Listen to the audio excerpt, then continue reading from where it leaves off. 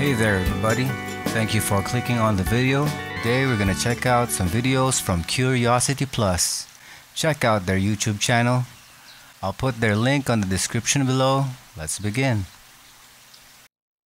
What if I tell you there is a place in India where you will witness the most bizarre phenomenon in the world? Jatinga is a small village in the state of Assam, which is filled with lush greenery and natural beauty. But there is a frightening thing about this location which has baffled scientists for centuries. Between the months of September to November every year, groups of birds come here and commit suicide. Yes, you heard that right. This is known as the mass bird suicide in Jatinga, and it is not witnessed anywhere else in the world. And the really strange thing is, all this happens at night. Local birds as well as migratory birds suddenly start to fly during night and go directly crashing into houses and trees, causing their own deaths. No one has been able to find out the real reason behind this shocking phenomenon. The locals believe that the village is haunted by evil spirits which cause these mass killings. So tell me, what do you think about it? It's similar to that place in Scotland. I think they call it uh, Suicide Bridge. The dogs come and they jump off the bridge apparently. It could be evil spirits, it could be magnetic fields. Some things are just hard or can never be explained. It's bad bird juju, that's what it is. What if I tell you that there is a form of exercise which is extremely simple yet so powerful that it can make your mind a hundred times stronger?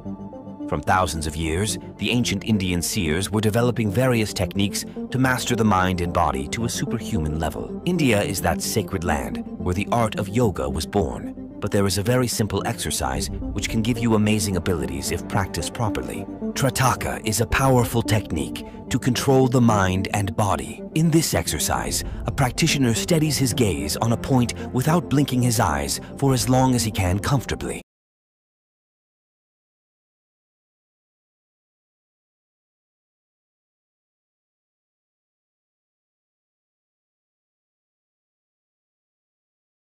Practitioners claim that they get extraordinary physical, mental, and psychic benefits from this exercise. One of those benefits is the superhuman ability to concentrate the mind on a single subject for as long as one wishes. Let me know in the comments if you want to learn more about it.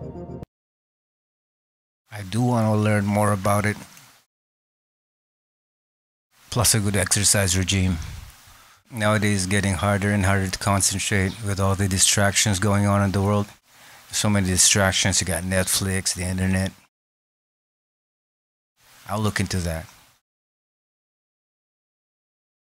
This two million years old mysterious Hindu text which describes gravity and other astronomical concepts. Researchers believe that the ancient Indian text, Surya Siddhanta, was written in the 4th or the 5th century CE. But shockingly, the second verse of the first chapter of this book attributes all the words to a messenger of the sun god who came to planet Earth to teach an asura named Mayasura millions of years ago.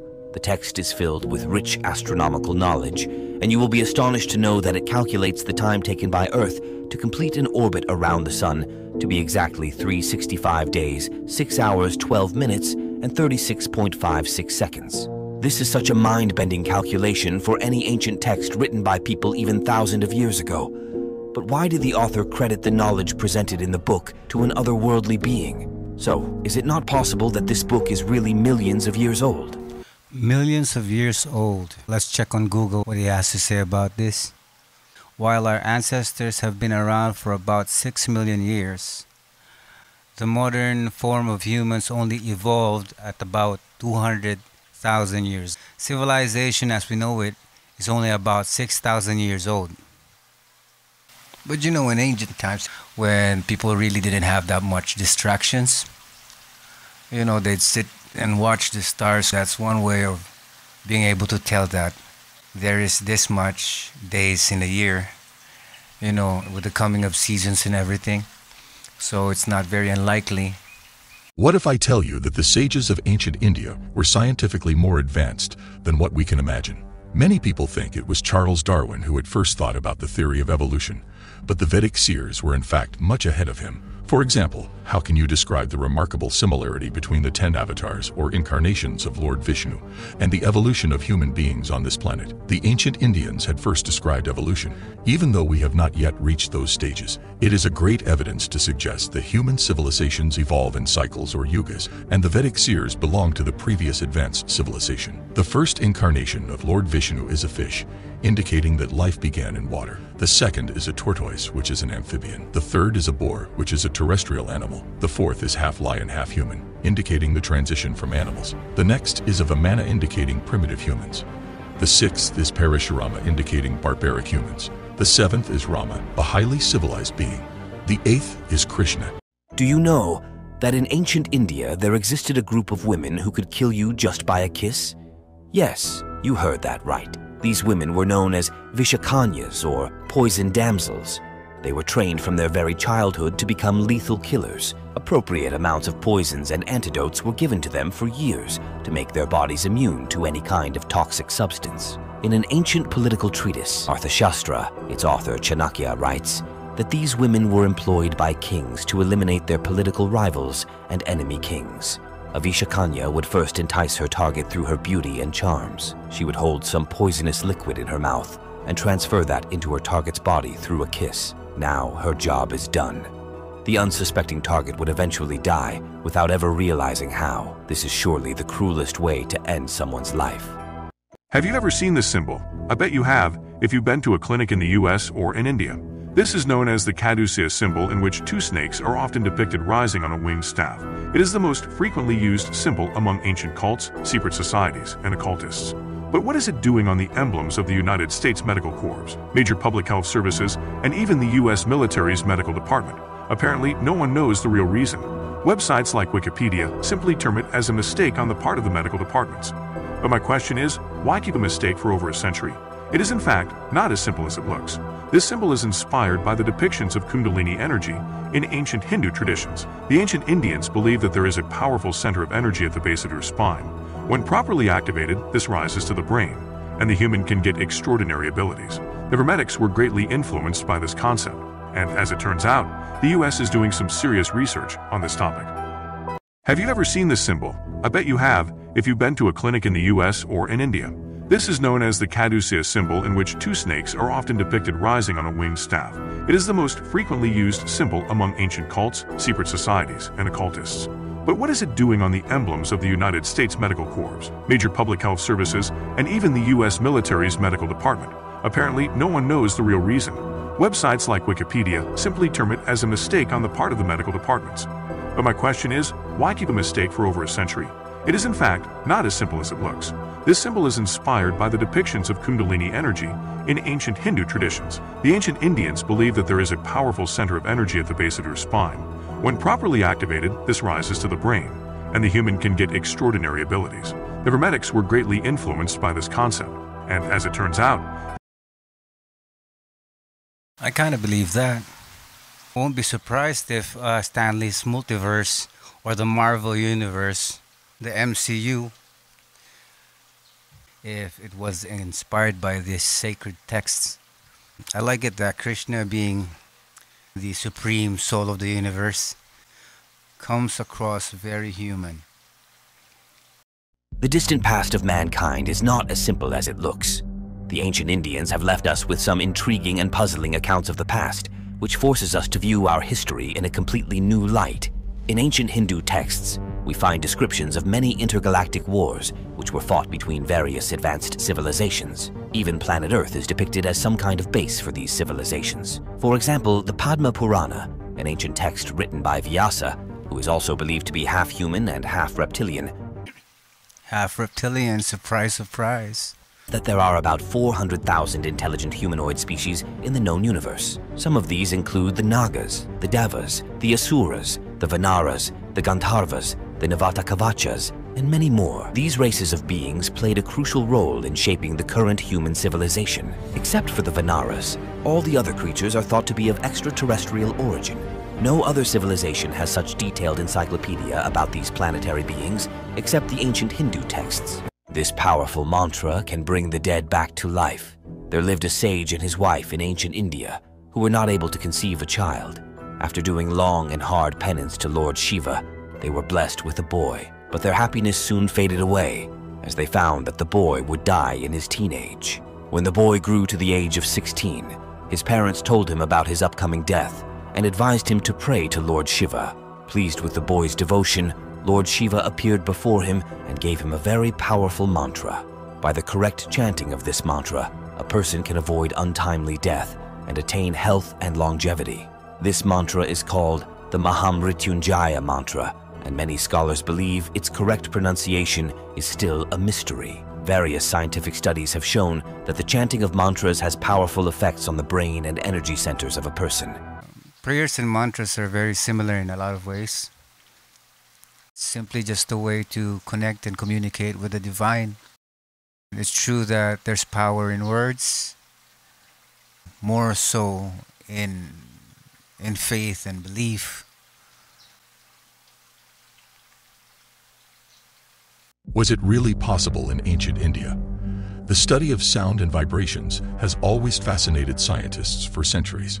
For example, a researcher named Anthony Holland recently showed that cancerous cells could be completely destroyed by targeting them with certain frequencies of sound. But you will be surprised to know that the seers or scientists from ancient India were using sounds or mantras to cure many diseases. The ancient Vedic seers had understood the importance of sound vibrations in achieving multiple extraordinary feats. One of the most intriguing thing about this culture is that each of their gods is always shown with a musical instrument. This shows how advanced the ancient Indians were in their knowledge of sound frequencies and its applications in scientific and spiritual fields. Various ancient texts suggest that they performed miracles like levitation and invisibility by using mantras or sound frequencies.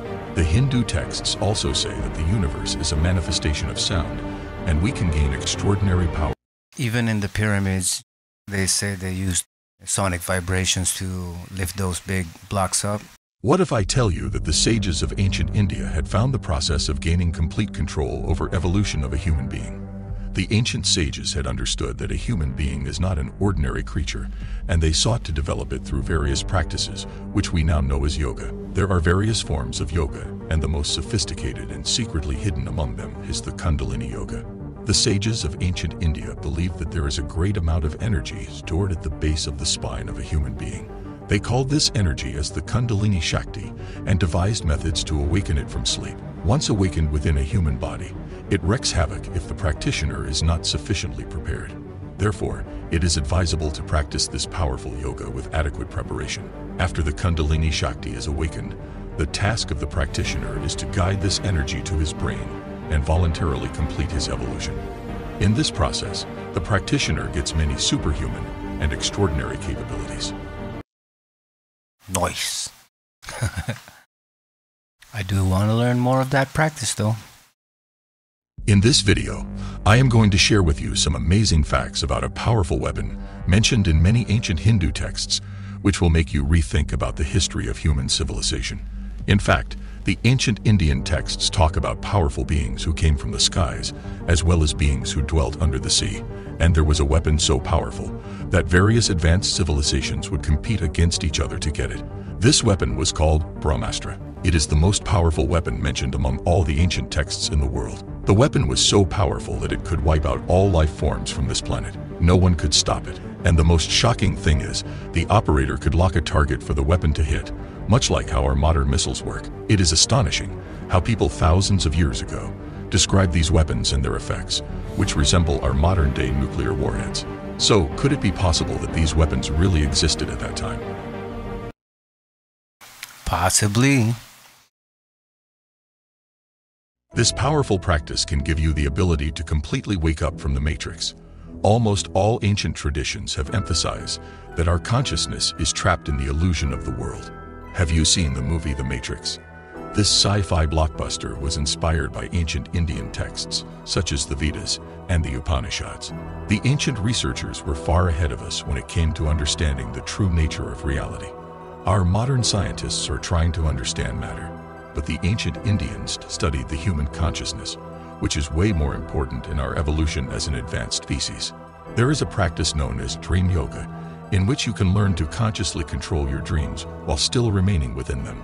It is widely practiced among Buddhist monks. especially in Tibet. Mastery in this practice can bestow your mind with amazing clarity and even the power to manipulate and change external reality.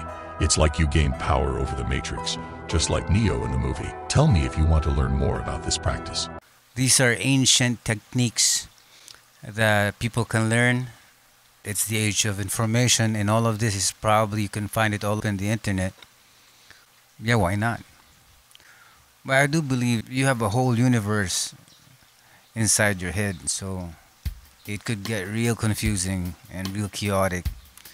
And I think a lot of it has to do with uh, mental conditioning. We've been subjected to conditioning since we were born. I mean, conditioning from our parents, from the family, from the institution, from government, to be able to deprogram oneself and figure out the realities in this world is yeah it's not gonna be an easy task anyway that's it for now. I'll see you guys in the next one